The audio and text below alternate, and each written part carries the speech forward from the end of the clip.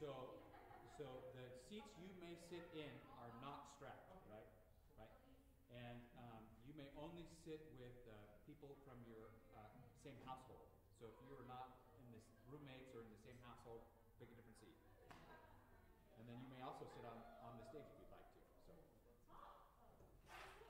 yeah, we just have to keep distancing between the singers, you know. But yeah, we can do that. Okay,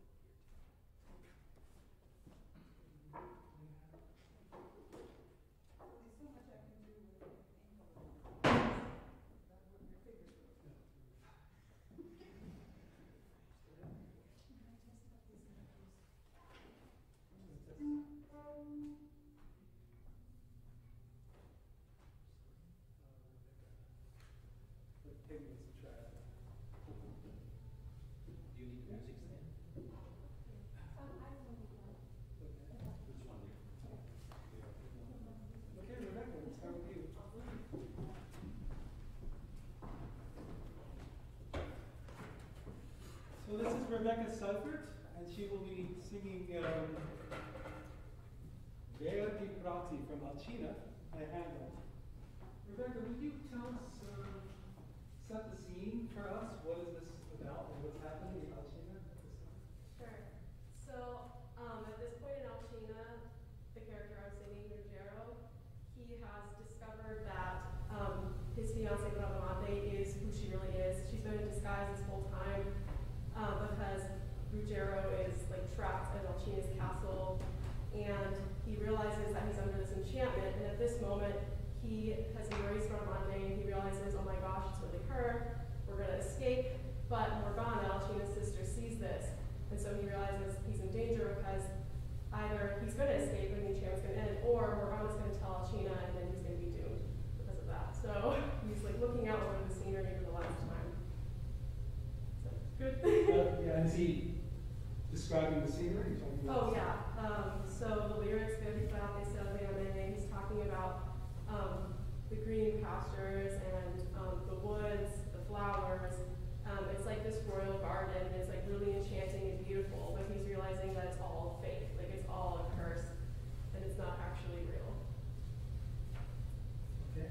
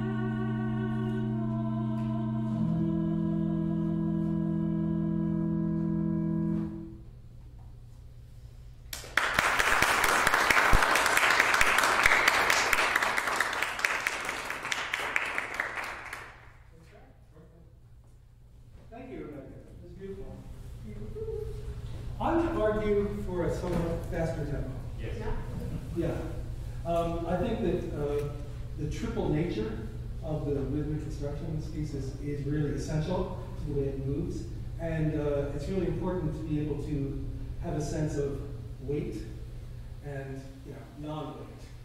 And uh, when, when we really have this feeling of like one, two, three, where each of the counts basically has the same weight and presence, then we don't get a chance to shape it like that. But um, I think you find that you're able to deliver the text much more convincingly when you're able to give uh, weight to the leading syllables. And even sometimes to choose which Downing is going to be more weedy than some other Downing. Um, let's just start a little bit of that. Like, can we do the first couple of phrases at a tempo about uh,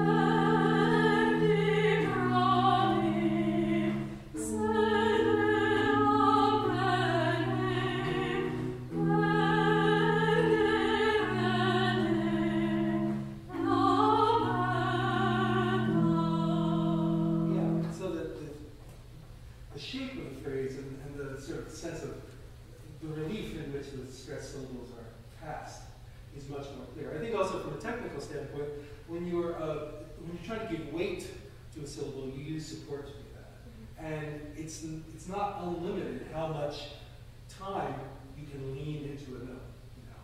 So you need to get, get it, uh, a tempo that is uh, technically comfortable. Mm-hmm. Um,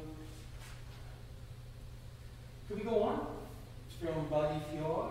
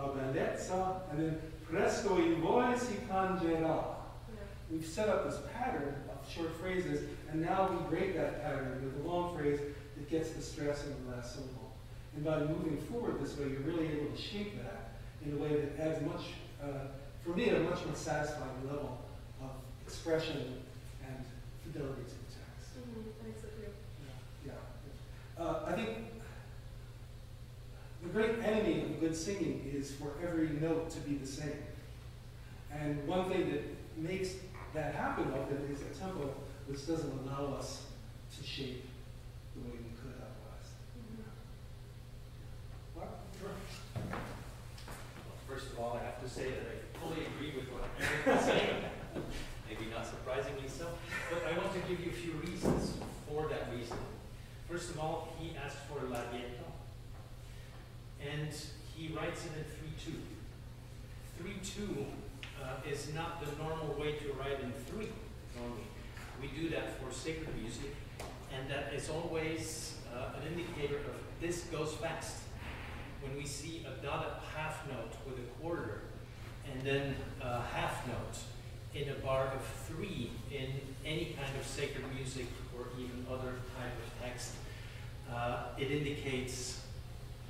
Sort of alla breve, alla breve puntata in this case, but you would have to go fast. So Handel modifies that by saying larghetto, which does not mean slow.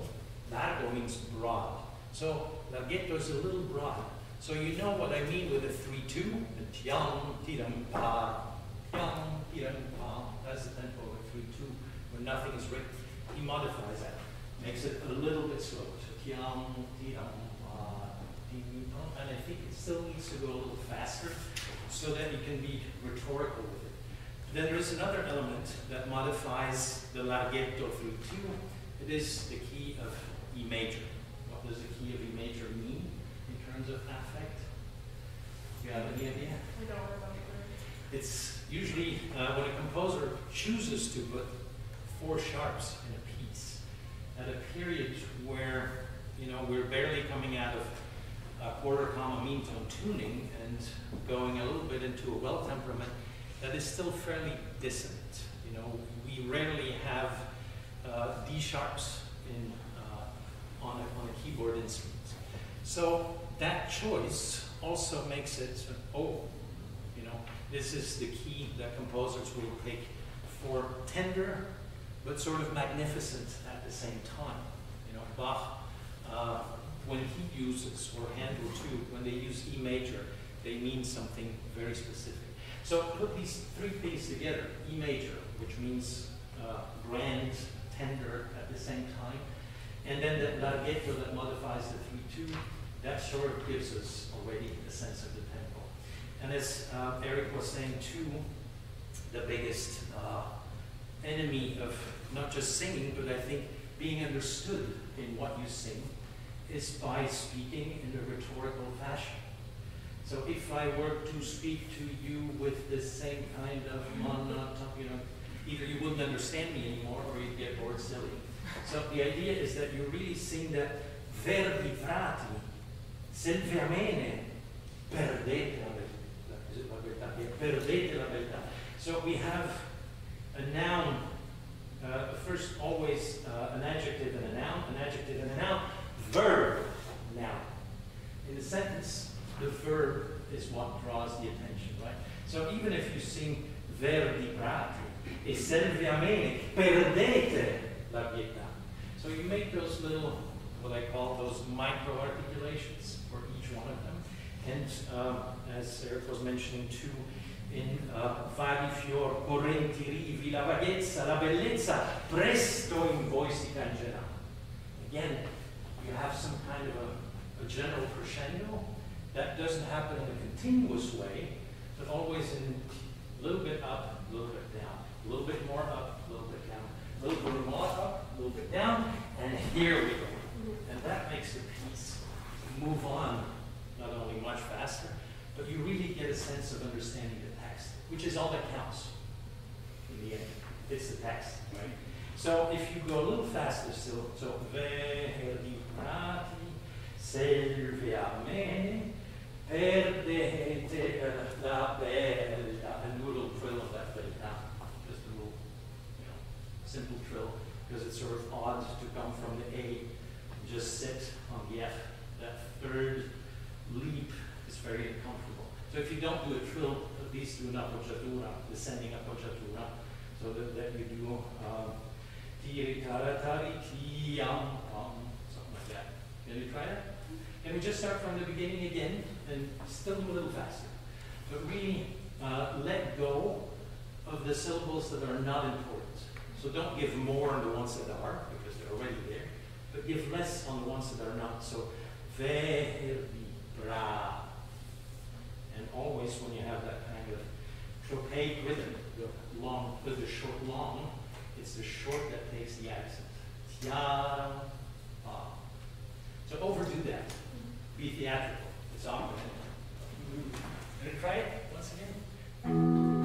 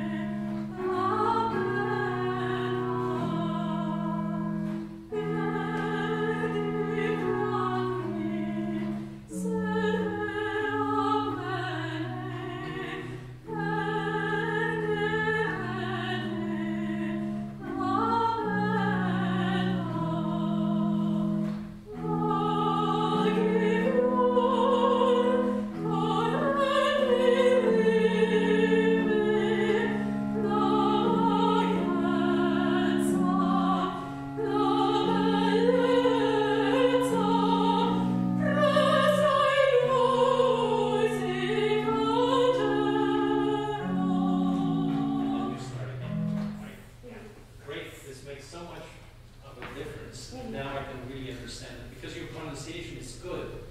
So you don't want your melody to get in the way of the text. You know, and that's true for all music all the way. Even Verdi was asked in the 1880s about what he considered the most important in a singer. He said, good pronunciation clear enunciation of the text. Okay, what's the second thing that is most important? Text. The third thing, te- text. Okay, fourth thing, good acting. and then fifth thing, decent intonation. It helps. And what is the last thing you're interested in? A nice voice. so, pronunciation, pronunciation, pronunciation. And that is true all the way up to uh, the late 19th century, actually. It's, it's amazing. There is, if you're interested, there's a great article by Roger Freitas on 19th century um, voice uh, treatises, including the famous Garcia that we all know in its censored version. All the stuff where he talks about high glottal position for recitatives and low glottal positions for arias is sort of excised out of uh, the modern versions of the treatise, but it's interesting to go back and read the original. Maybe we should move. Yeah. We should. Thanks so much. Thank you. Rick.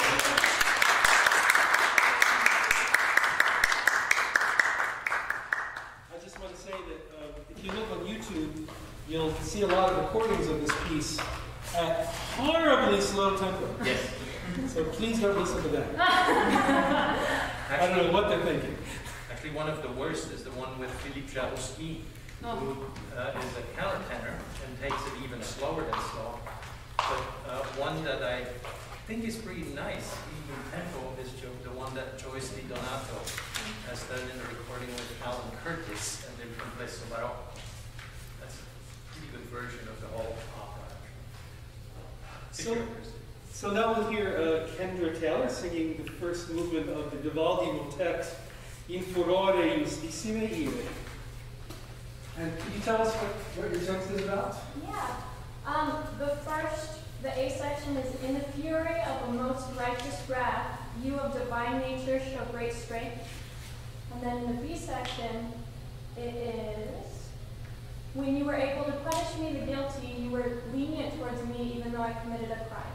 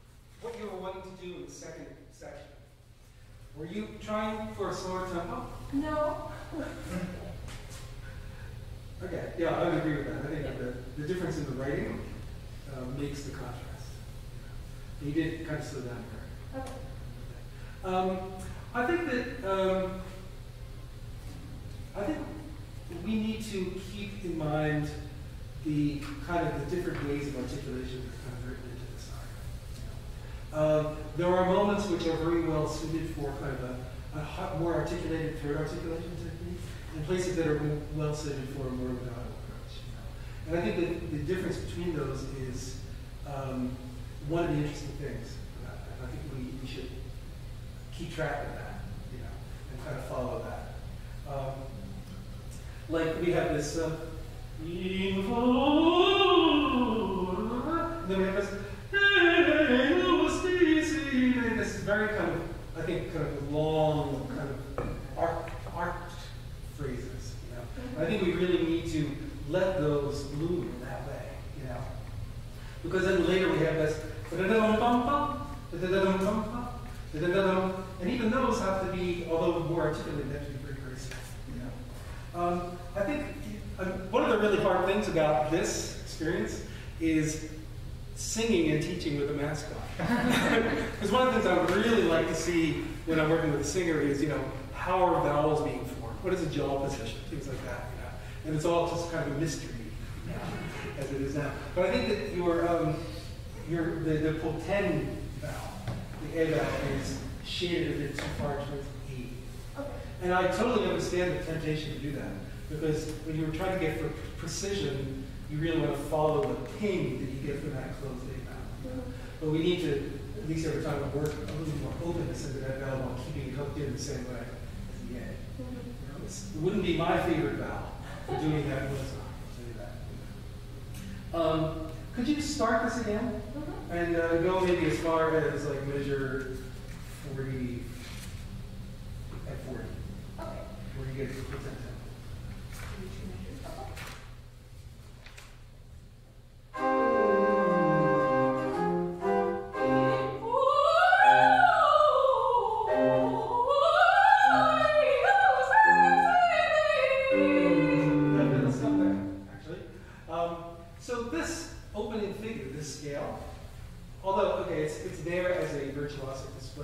it's really kind of a very big ornamentation of the note G.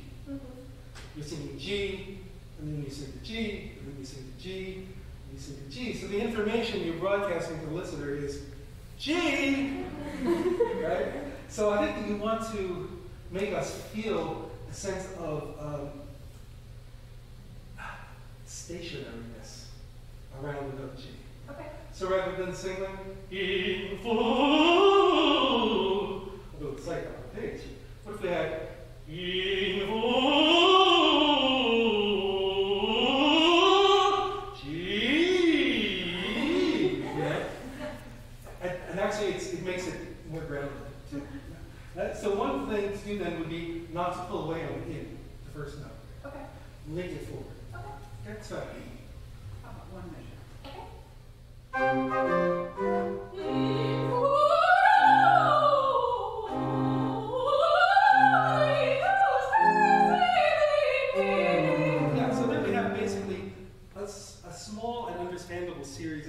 Really. We have G, G, G, G, A flat, da, da, da, da, da. and then that shift into that harmonic area is really, really clear. Know? That was really nice. Thanks. Could you do it again and then keep going? Yeah. Good.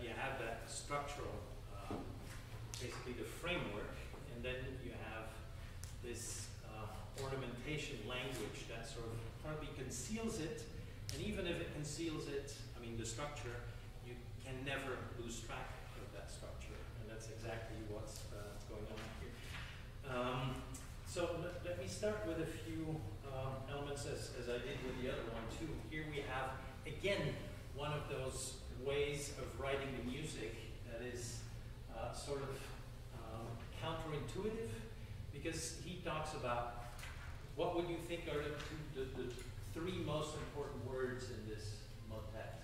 Fury and, um, ire, wrath, Yeah, yeah. Furore, ire is pretty much. and crime later. Yeah, and then you have, yes, and then you have potente, force, and then you have in the B section, what would you think is your sort of central world word there? I, it's, you could have punished me and you didn't. Yeah. Remember. But be merciful, right? So it's, it's actually, the, this motet is a free written text, it's not a scriptural text, but it's a typical text for the period of the liturgical year that we call the rogation days, right? Which is the prayer days, they happen at two different moments in the liturgical year. So it's a prayer to, you know, no matter what uh, uh, anger there is, you know, be merciful. And that's what the imploration of the B section is, is clemente, right? That's the word. So, but he puts that in C minor. Come on, what is C minor for in the Baroque period in terms of affect? I don't know. It's the uh, second most melancholy uh, key. You can get worse, and it's the key of all the Stabat Maters, where the Virgin Mary is seeing her son being crucified. Stabat Mater Dolorosa, that's F minor. You get one more flat. But three flats is already pretty bad for the kind of tunings at that time. So it has a very dark, melancholy um, uh, affect. But then you talk about fury and about clemens. So the two are very, you get a very strong opposition of affects, which is another very Baroque characteristic. And then, even though Bach is probably one of the composers who is most often accused of writing instrumentally for the voice, I think Vivaldi is showing that he's writing a piece that should be played by violin, preferably by himself. But no, he sticks it, you know, to one of the sopranos in the Ospedale. Actually, not in the Pietà, because he wrote it probably in 1722 when he was visiting Rome, and probably had it uh, performed during the rogation there, uh, rogation days in Rome when he was there in the 1720s. Now, so I think it's important to have in mind that you have that sort of dichotomy, that, that um, tension between a key that asks for mercy and melancholy, but then on the other hand, that kind of fury. So it's, it's a melancholic fury. And I think if you do what Eric was asking about in terms of just bringing the structure and be less important on all those little ornamental. Of course, I'm asking you things that I would ask from a violinist. And so, you know, it's your turn to sort of emulate the violin. Whereas so often in the Baroque period, uh, we instrumentalists are sort of, we're so bad at singing that we have to use an instrument to actually do what vocalists can do. So we emulate the voice. Here we have a situation where that's a little uh, opposite. And so even when you get to the um, to divinitus, of course, absolutely be a little more lyrical there. But then facis potente, and then your affect change. And I think you can play with the broken chords in tiari, parati, and actually think a diminuendo towards the high note, Okay. so that you get a piar, parati, but it's a rhetorical katabasis. So the whole thing is going down, parati, parati. And then you have enough energy to start and finish uh, like that. So I think you can take a little more um, dynamic differences in there. You know, and the, the man, I don't know, have you seen the manuscript of this? Um, I glanced at it, I have. It's on IMSLP, there is not a, dy- a dynamic uh, indication, anything there, no pianos, no fortes anywhere. So it's in your hands or in your voice, you know, to do that uh, as much as you can. One thing about pronunciation, um, no Italian would use the Ciceronian Latin uh, version of the in furore justissime. They never say that. They would always say justissime. Like they never say mihi, but miki on the dative of me. So even in the manuscript, he writes it justissime with G-I-U-S. It's the only change there. But it will give you a chance to be much more strong in furore justissime and spit that out so we can, even with your mask, spit even more so that we can really hear it. so that the text is clear. Uh, I also think that the B section should be exactly the same tempo as the rest. The affect and the, the text changes enough for you to be fine with that. And also, what it made you, um, what it made it impossible to do is sing Clementem in one breath. Yeah. So you need to play it to sing it fast enough so that you can sing Clementem in one breath, as much as possible. You know,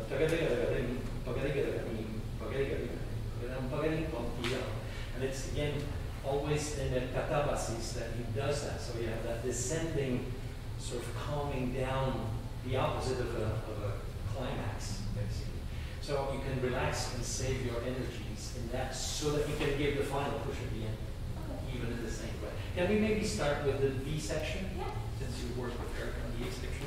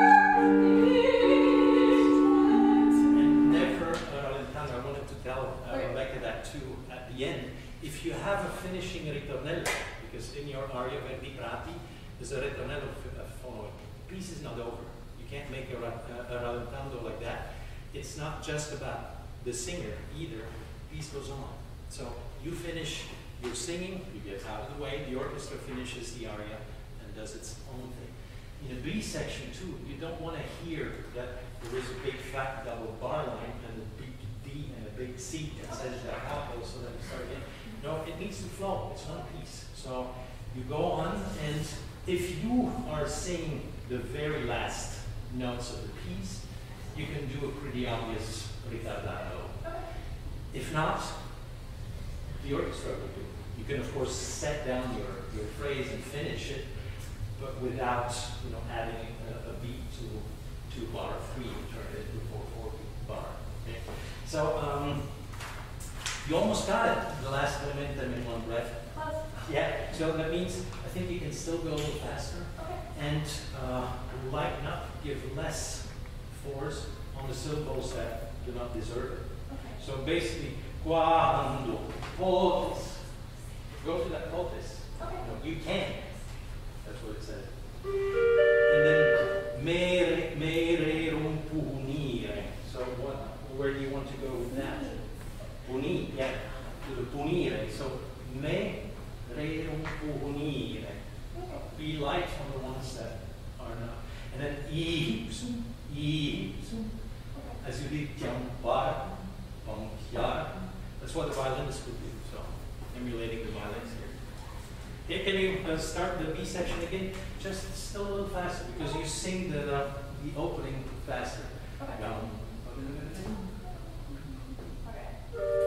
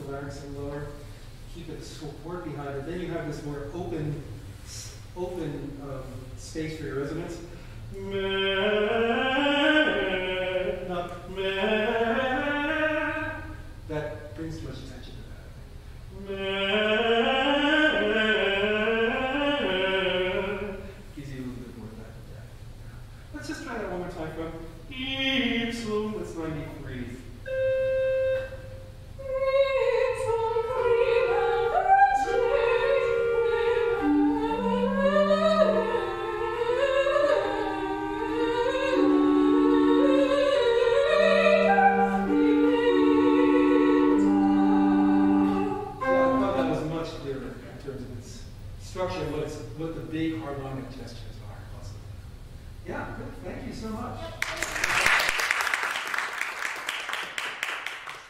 thought it was so interesting, Mark, when you said how Vivaldi writes uh, giustizia, is it? Yeah. With a G-I-U, like in Italian, giustizia. The Italian pronunciation of Latin, of course, since the languages are so close, Mhm. will often tend to go to the Italian. Yeah, If it's close enough, you know, justissime, justissime, Yeah, and uh, yeah, it's interesting. I mean, I, I'm looking at the edition. I've seen this written with an uh, IU, Yeah, USDTA, or with a JU as it is in this scooter. yeah, and that doesn't make a difference, it's just the, the J is a long I, Mm-hmm. which is used at the beginning or at the end of a, of a word. Yeah.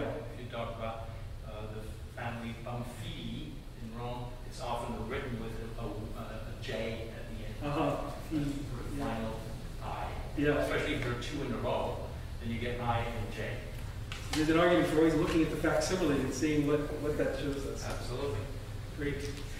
And they're all in IMSLP now, so you don't even have to look far anymore. Okay, Nick, uh, uh, right, Alice. Alice is going to sing Chi mi insegna il caro padre from Alcina. Can you tell us a little bit what's happening there? Yeah, uh, so this aria is Oberto, and he's a young boy, maybe like 11 or 12. Um, and at the time of this aria, it's been quite some time since his father went missing, and he's speaking to some soldiers, asking where they are, and lamenting about like, how much he misses his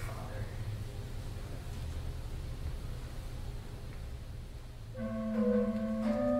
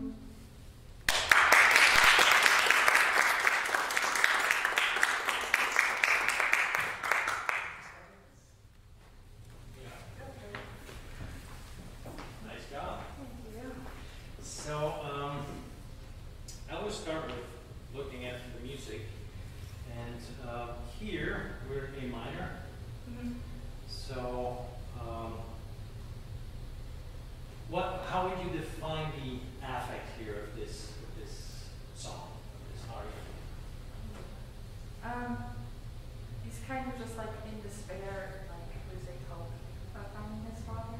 Yes.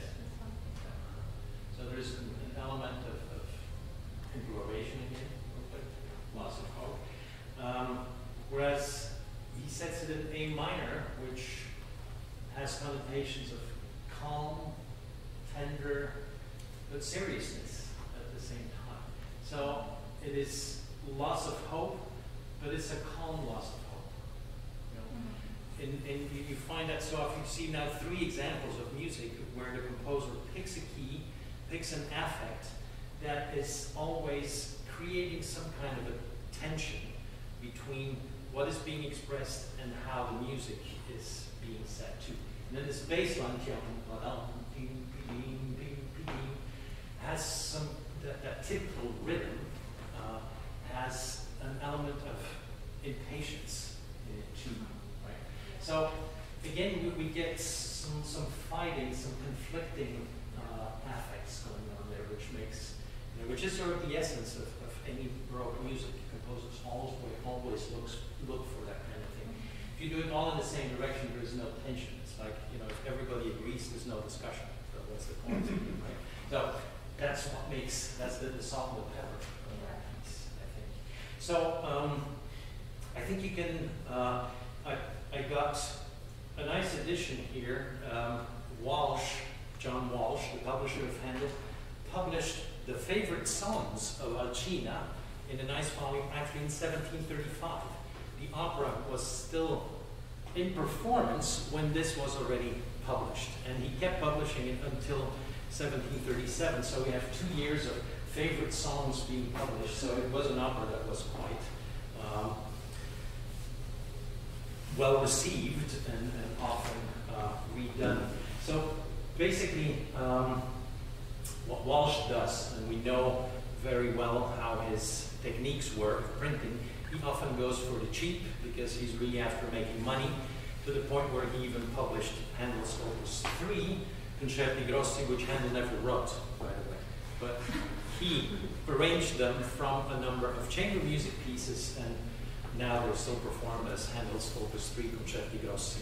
So he had a propensity of cutting corners. And we see that in the notation here, is where in the bass line you have this clear dotted rhythm figure that is continuous, and once in a while he refrains from it. And in the vocal part he says, well, you know what to do. I don't need to write these dotted rhythms in there. It costs too much for my engraver to do that. So I think you can, if you don't do dotted rhythms, you can at least play a little bit more with bam. Swing it a little more. So that you get a little more of that impatience. If you make it too equal, I think the rhythm already goes in that direction.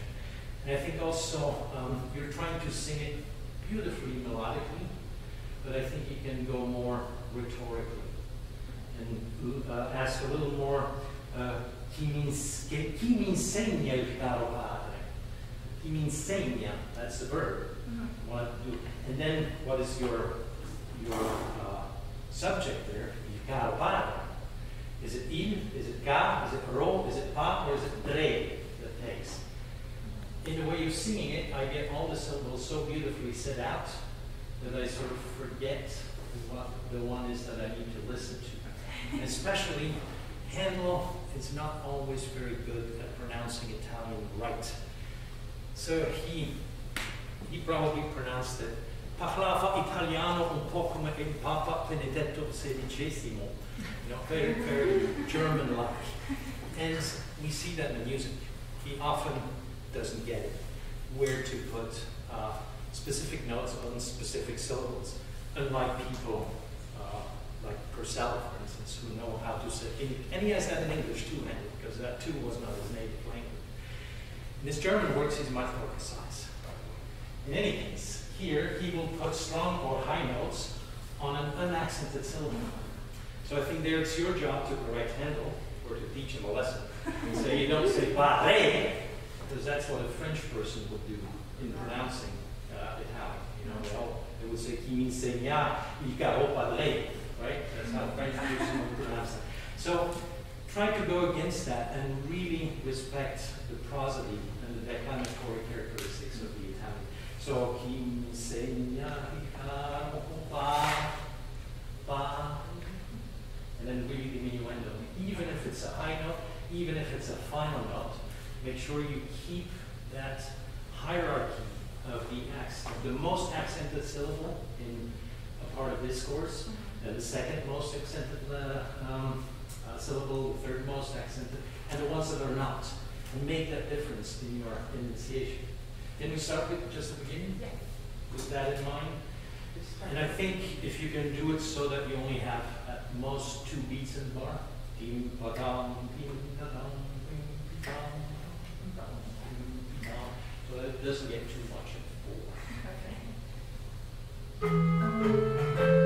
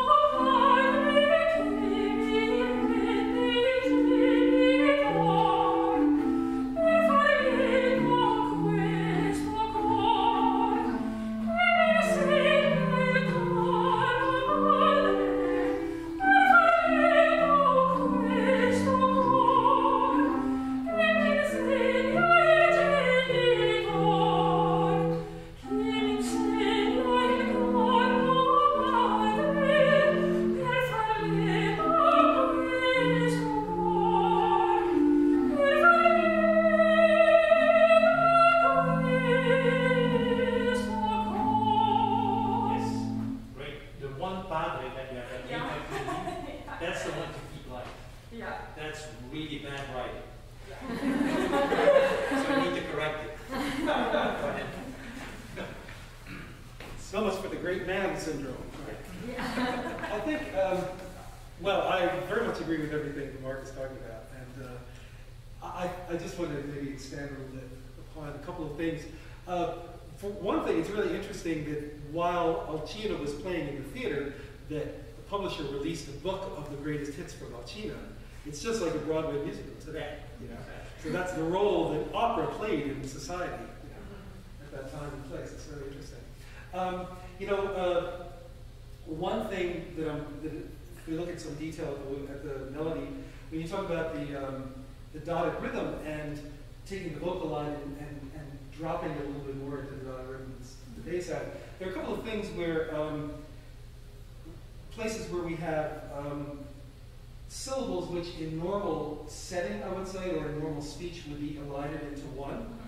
Kimi senyai, for example, the, you know, the way they're kind of written, they look like senyaim, and that's a perfect opportunity to be imprecise, if you will, and, to be fluid. You know? And you could, then you can lengthen one and shorten another. So I think when you have syllables like that, which normally wouldn't get their own pitch, but they're set in such a way that they appear to have their own pitch, it's our job to kind of obfuscate that, because it's a lot more, um, a lot more elegant that way. you know. Um, also, I think my, my thought was also that this piece is mostly an affect piece. You know, it's it's it's here to express a sentiment. and It's here to create an affect. Most of the time, the melody is not particularly fascinating or interesting. It's it's nice, you know, but um, when you take it as an opportunity to claim the text and to create the affect, then it really I think fills its fills its, role. I thought that um, I thought when the couple of the ornaments that we used kind of broke out of the affect. I think ornamentation is a really big topic that we can talk about for a long time, and there's a lot of taste involved, and it's it can be really hard to talk about that ornament is okay and that other ornament is not okay. You know, what are the criteria for that? You know, I, I feel like the longer I live, the less I really know. but but one thing that I do feel very strongly about is that we don't want to ornament in a way that breaks out of the, the world of affect that, that the piece should occupy. And I think that in some cases that's an easier line to find than others. But this is a piece which is, it's very non-virtuosic. It's anti-virtuosic, you know. So that when you layer on something which, which could be interpreted as being a display of your vocalism, or vocal ability, uh, probably now, as in that time, some people will like it. But as they always say, those of good taste know that you shouldn't do that. Yeah. So what is good taste? That's the, the great quest of our lives, I think. But um, so we should really though think if I'm if I'm departing from the melody, if I'm jumping up a sixth and adding some fioritura, is that something which is that makes sense in the expression text really in the, world of the affects that we're trying to communicate? So it's just something to think about. Um, I, I, I, would just also just bounce back to what Mark was saying about uh, when you have this, um, uh, you know, you, you basically are delivering the word, the cadence of the speech very well. You mean segno, caro, padre, chi, rende, genitor. But we do always have to make a decision which one or two are the ones that are really going to get weight, or else we get kind of stuck. Now in the B section, the, the layout of the text is a little bit different. Could we start from the M'abbandona la speranza?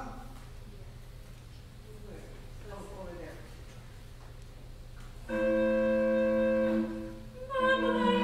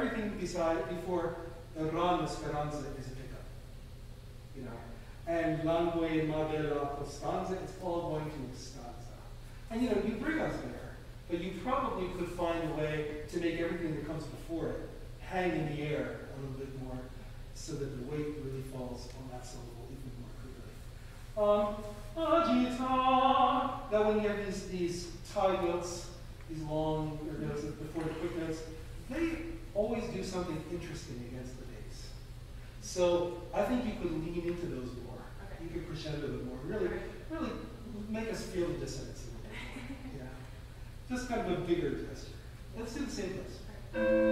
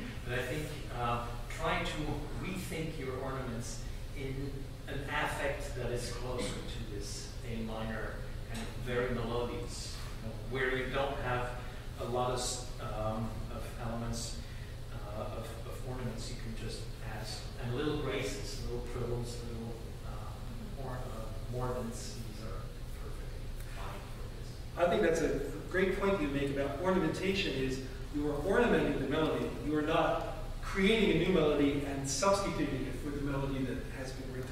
And you'd sometimes hear that in a lot of performances of Baroque music in order to, again, to kind of wow everybody. you know. But I think that when you're ornamenting in such a way that we don't know anymore what was there originally, then we've gone a step too far. Great, well, thank you so much.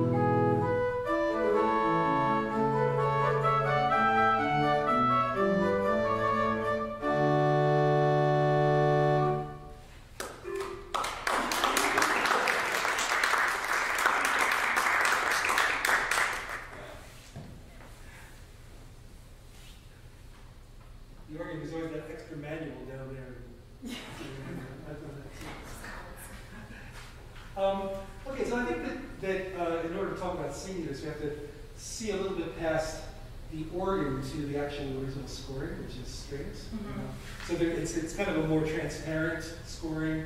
Um, and it, it- makes me think of the kind of the origin of violins, which were first used for like, dance music, you know. Uh, and they, they were sort of like uh, the rowdy, less serious cousins, you know, of. So I think that we need a very much a feeling of dance music in this piece, you know. And uh, so how do we get that? One I think one way is, is again not to let um, the second and third eighth note of the measure have too much weight. I think maybe a bit of a faster tempo, but I think really only a tick faster. Okay. But I think it needs to be in one.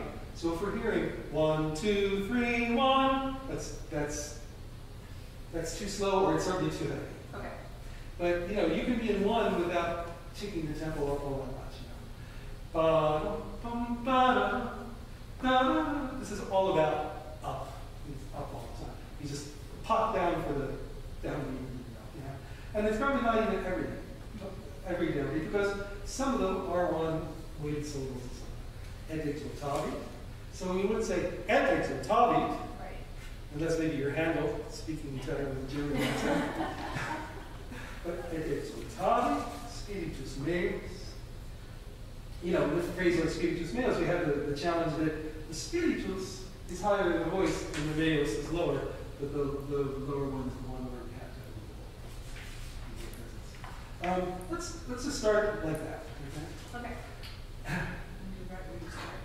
Right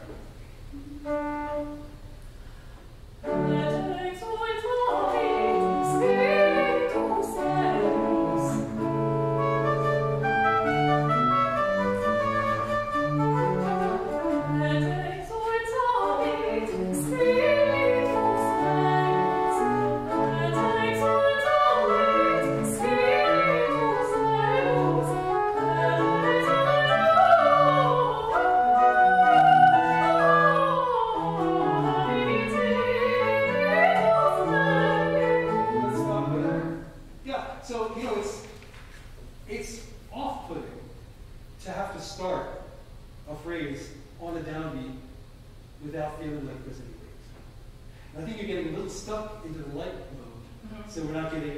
weight on the, say the next measure. Okay. So go ahead and use uh, your support and use your resonance to put a little more weight on this. Okay. Um, the other thing that strikes me is that um, if we look ahead in the, the next page, this, you know, the, really the, the big picture, it's really,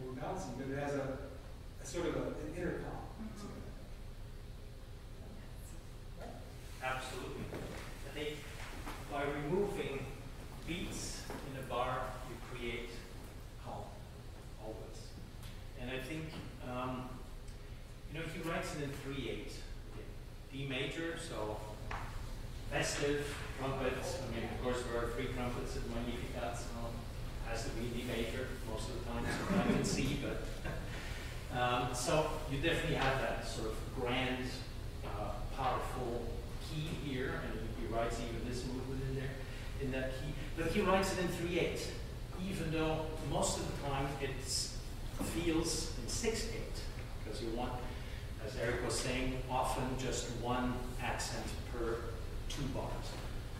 So why does he go through the trouble of writing it in 3-8? Any ideas? No. It's actually a very uh, galant style element. Bach is rarely accused of being a galant composer, but he does take little bits of that pace. Basically, what writing in 3-8 allows you to do is to not be stuck with one accent every other bar, but to create irregular accentuation patterns. That's 3-8. He does that. Certain dances have that, especially once you want to insert a number of hemiolas, which he does in here in cadential formulas. But a 3-8 is always a license to be irregular in your larger articulation. So sometimes you have patterns that are one bar long, sometimes two bars long, sometimes three bars long, sometimes even four bar long uh, patterns.